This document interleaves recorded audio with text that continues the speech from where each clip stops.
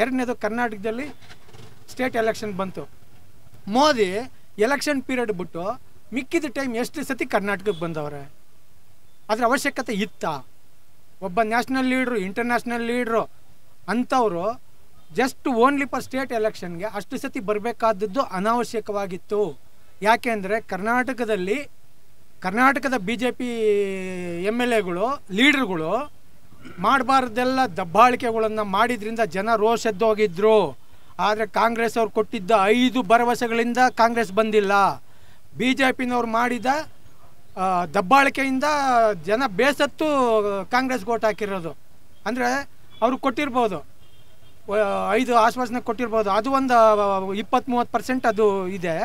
But ನಲ್ವತ್ತು percent commission ಅದು, ಇದು ಎಲ್ಲ ಇದಕ್ಕೆ ಮೇಯ್ನು ಡಿಸ್ಅಡ್ವಾಂಟೇಜ್ ಆಗಿದ್ದು ಬಿ ಜೆ ಪಿಗೆ ಇದೆ ಕಮಿಷನ್ ಇದು. ಉದಾಹರಣೆಗೆ, ಇಲ್ಲಿ ರಿಂಗ್ ರೋಡ್ ಇದೆ. ಎಲ್ಲಿ ಹೇಳಿ? ಇಲ್ಲಿ ಲಗ್ಗೆರೆ ಪಕ್ಕ ರಿಂಗ್ ರೋಡು ಅಲ್ಲಿದ ಅವ್ಯವಹಾರಗಳು, ನಾನು ಹೇಳ್ಬೇಕಾಗಿಲ್ಲ. ಬೇಕಾದ್ರೆ ನೀವೇ ಬಿ ಬಿ ಎಂ ಪಿಗೋ ಇಲ್ಲ ಎಂ ಎಲ್ ಎ ಇವ್ರಿಗೋ ಎಂ ಪಿಗಳಿಗೋ ಅಲ್ವಾ ಲೋಕಲ್ ಪೀಪಲ್ಗೋ ನೀವು ಅದನ್ನು ಕನ್ಸರ್ನ್ ಮಾಡಿದ್ರೆ ಅಲ್ಲಿ ಎಷ್ಟು ಅವ್ಯವಹಾರ ಆಗಿದೆ ಅನ್ನೋದು ಗೊತ್ತಾಗತ್ತೆ ಅದು. ಗೊತ್ತಾಯ್ತಾ ಅರ್ಧ ಬರ್ಧ ಮಾಡಿಬಿಟ್ಟವ್ರೆ. ಯಾಕೆ ಮಾಡಬೇಕು? ಏನಕ್ಕೆ ಮಾಡಬೇಕು? ಈಗ ಅದೇ ಅವ್ಯ ಅರ್ಧ ಬರ್ಧ ಮಾಡಿ, ಈಗ for example B J P M L A ಇದಕ್ಕೆ ಎಲ್ರಿಗೂ ಕಾಂಟ್ರಾಕ್ಟ್ರುಗಳಿಗೆಲ್ಲ ಎಪ್ಪತ್ತೈದು ಪರ್ಸೆಂಟ್ ದುಡ್ಡು ರಿಲೀಸ್ ಮಾಡವ್ರೆ. ಈಗ ಯಾಕೆ ಅದನ್ನ ಶುರು ಮಾಡಿಬಿಟ್ಟು ಮಾಡ್ಬೋದಲ್ಲ? ಯಾಕೆ ಮಾಡ್ತಾ ಇಲ್ಲ? ಹಂಗೆ ಬಿಟ್ಟವ್ರೆ. ಬಿ ಜೆ ಪಿನವ್ರು ಮಾಡಿದ್ದೆಲ್ಲ ಅಟ್ಟರ್ಲಿ ಫೇಲ್ಯೂರು ಇವ್ರು ಕಾಂಗ್ರೆಸ್ ಅವರು ಆಶ್ವಾಸನೆ ಕೊಟ್ಟು ಬಂದಿರೋದು ಅಂದರೆ ಅದೊಂದು ತರ್ಟಿ ಫಾರ್ಟಿ ಪರ್ಸೆಂಟ್ ಇರ್ಬೋದು. ಆಯಿತಾ?